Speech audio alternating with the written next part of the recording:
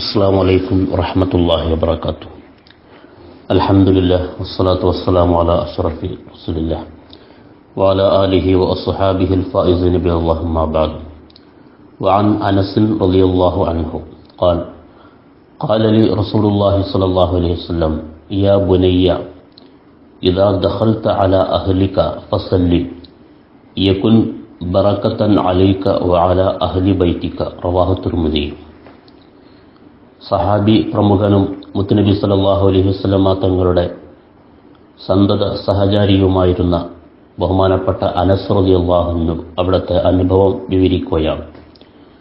കാലലി റസൂറുല്ലാഹി സലാഹു അലൈഹി വസല്ലം എന്നോട് നബി സല്ലല്ലാഹു അലൈഹി വസ്ലമ തങ്ങൾ ഒരിക്കൽ പറഞ്ഞു യാ പുനയ്യ എന്റെ പൊന്നു മോനെ ഇതാ ദഹൽത്ത അല അഹ്ലിക നീ നിന്റെ കുടുംബത്തിന്റെ മേൽ പ്രവേശിച്ചാൽ ഫസല്ലി.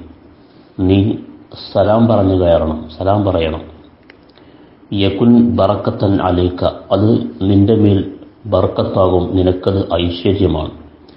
അല അഹലി ബൈത്തിക്ക നിന്റെ വീട്ടുകാർക്കും വീട്ടുകാരുടെ മേലും അത് ബർക്കത്താണ് അവർക്കും അത് ഐശ്വര്യമാണ്.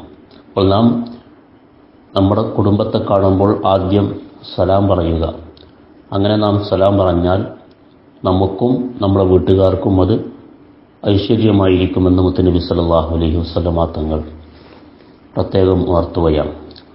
സഹാബാക്കളിൽ വിജയകരമായ ജീവിതം നയിച്ച വലിയ സൗഭാഗ്യം നേടിയ മഹാനാണ് അനസറിയാഹു പുണ്യപ്രവാചകരുടെ പ്രാർത്ഥന പ്രത്യേകം അദ്ദേഹത്തിന് ലഭിച്ചിട്ടുണ്ട്. അള്ളാഹു ബാരിക് ലഹു ഫിൽ അംവാലി വൽ ഔലാദ്.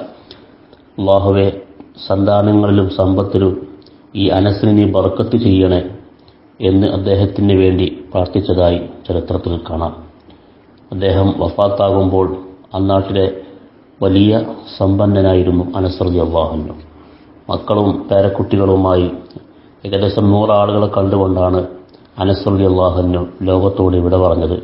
അവസാനമായി ബസ്രയിൽ വെച്ചുകൊണ്ട് അവസാനമായി ഇവിടെ പറഞ്ഞ സഹാബികളിൽ ഒരാളുമാണ് അനസ്രതി അള്ളാഹുന്നു ബഹുമാനപ്പെട്ടവർക്ക് ഈ ബർക്കത്ത് ലഭിക്കാനുള്ള പ്രധാനപ്പെട്ട ഒരു കാരണവും ഇതുതന്നെയാണ് ബർക്കത്ത് ലഭിക്കാവുന്ന കാര്യങ്ങൾ വളരെ സൂക്ഷ്മതയോടുകൂടി നിർവഹിച്ചപ്പോൾ അള്ളാഹു അദ്ദേഹത്തിന് വലിയ ഐശ്വര്യം നൽകി. അതുകൊണ്ട് തന്നെ നമുക്ക് നിസ്സാരമെന്ന് തോന്നുമെങ്കിലും ഇത് വളരെ ഗൗരവമുള്ള കാര്യങ്ങളാണ്. വീട്ടിലോട്ട് കടക്കുമ്പോൾ നാം സലാം പറഞ്ഞു കയറുക.